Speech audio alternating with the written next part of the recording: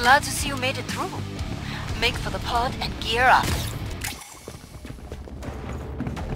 A good day's work and everyone survived. Thanks. Bonjour. Come and get